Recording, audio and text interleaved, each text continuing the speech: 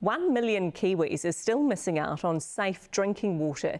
At times, numerous councils are failing to meet the standard, according to the latest report, with issues ranging from bacteria and parasites to traces of heavy metals in the water.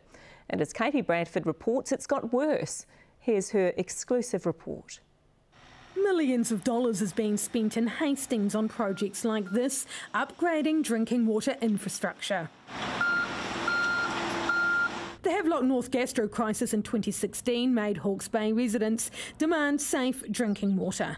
Despite that, Hastings District Council is among numerous water providers who have failed water standards in the last year until the infrastructure behind me is finished, um, technically that non-compliance will stay, but our community can be assured that with the amount of monitoring and testing, the water is safe. The 2021 annual drinking water report showed just 78% of the population who rely on monitored water supplies, that's just over 3 million people, had access to safe, clean drinking water.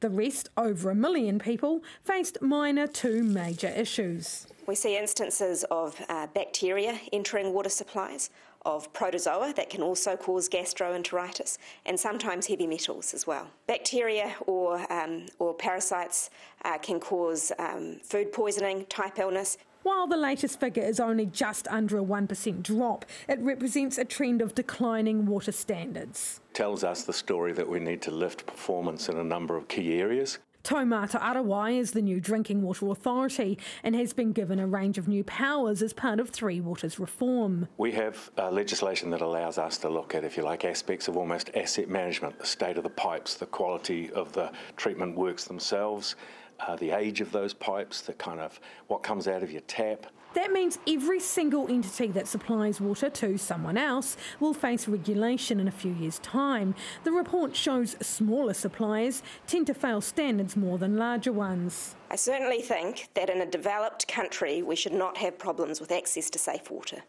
In Hastings, the council is spending $82 million upgrading its drinking water infrastructure.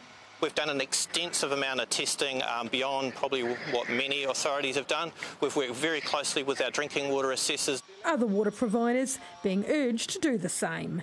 Katie Bradford, One News.